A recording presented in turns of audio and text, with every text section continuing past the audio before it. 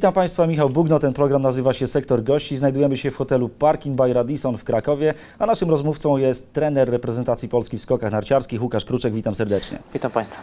Niedawno rozmawiałem z trenerem Jerzym Engelem, który opowiadał o tym, że praca trenera to jest coś, co kocha, praca trenera to jest coś, co dało mu gigantyczną satysfakcję i cieszy się, że wybrał sobie taką e, ścieżkę życiową. Czy Pan powiedziałby to samo o zawodzie trenera skoków narciarskich? Czy to jest coś, co jest dla Pana całym życiem?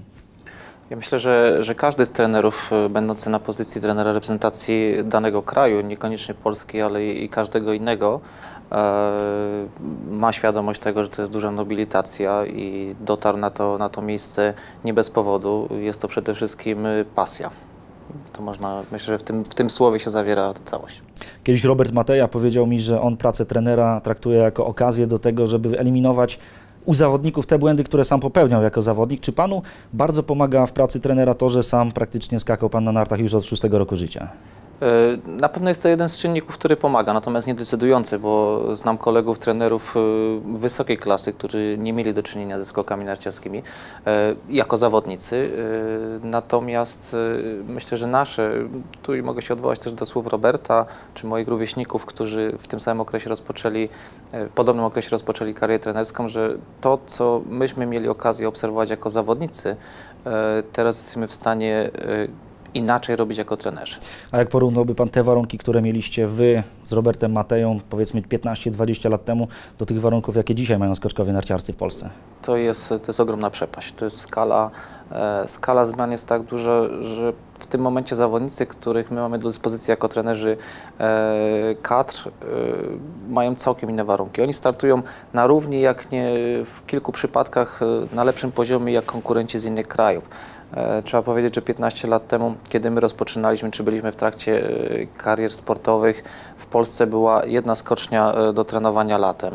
Większość szkolenia opierało się na ciągłych wyjazdach na obiekty zagraniczne.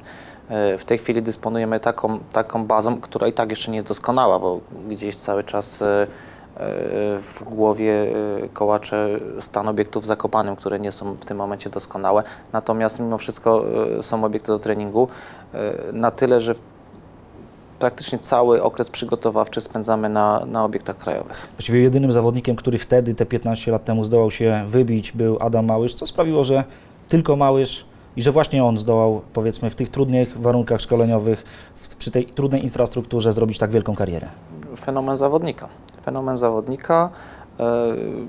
Pewnie jakiś drobny zbieg okoliczności też, że to wszystko spasowało w odpowiedni moment, trafił na, na bardzo podatny grunt, na, na dobrych trenerów, dobrych współpracowników e, i to wszystko fajnie ruszyło. E, z jednej strony mieliśmy wybitnego zawodnika, jakim jest Adam, natomiast nie możemy pomijać też tych e, jakichś drobnych sukcesów, którzy, które mieli, którzy mieli także inni zawodnicy, bo trzeba podkreślić tu już wspomnianego wcześniej Roberta, który też był zawodnikiem, który skakał do, do szóstki Puaru Świata, był Wojtek Skupień, który, który też dobijał się do dziesiątki. Jako drużyna już wtedy stawaliśmy po raz pierwszy na, na podium Puaru Świata, także można powiedzieć, że w tych czasach powiedzmy tak na okrągło licząc 15 lat temu e, zaczęło się to, czym dysponujemy teraz.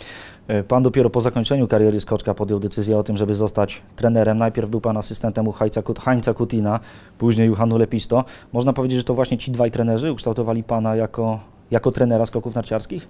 Oni pokazali przede wszystkim y, pracę trenerską z innej strony. To, co wcześniej miałem okazję obserwować, to były obserwa obserwacje moich trenerów, czyli wcześniej Pawła Mikeski, y, obecnego prezesa PZN Apolniusza Tajnera. Później, kiedy przeszedłem już na tą drugą stronę jakby barykady, y, będąc trenerem, y, miałem okazję współpracować właśnie z wspomnianym Hańcem, y, Kutinem i Hanu Lepisto. To były dwa całkiem odmienne charaktery trenerskie, które jakby swoją pracę y, nacisk w swojej pracy, pracy kładli na, na inne obszary.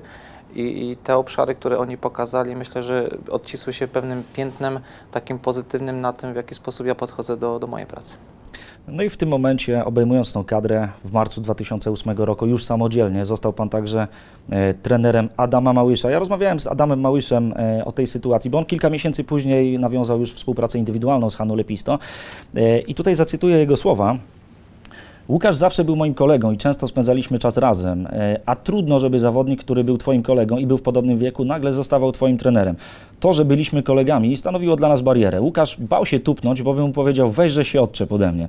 E, To był dla nas bardzo trudny układ. Jak Pan się odniesie do tych słów? Czy rzeczywiście dla Pana też takie przejście do relacji trener-zawodnik z Adamem Małyszem było, było czymś trudnym? E, To nie było łatwe. No, przede wszystkim sama praca z Adamem nie jest łatwą pracą. Dostaje się do ręk, do, jakby do, pra- do obiekt do, do obrabiania, który jest już na tamtą chwilę ikoną polskiego sportu i ogromna odpowiedzialność. E, Z drugiej strony e, jak Adam tutaj powiedział i też mówił wiele razy, on potrzebował człowieka twardego, który tupie tą nogą i, i wskazuje jasny kierunek działań. Idź tam i w żaden sposób... Hannu Lepis, to był taką osobą. jest nadal, jest nadal taką osobą, który ma jasno wyznaczone e, swoje kierunki działań i w tych kierunkach e, działa. Ja mam sposób pracy z zawodnikami bardziej taki, można powiedzieć, demokratyczny. E, My po prostu sami obieramy, dyskutujemy razem, staramy się razem wybrać wspólną drogę działania i to jest ta różnica, która u pewnych zawodników skutkuje e, dobrymi działaniami, u innych niestety nie. Dzisiaj Adam Małysz jest oficjalnie konsultantem kadry A, kadry B i C.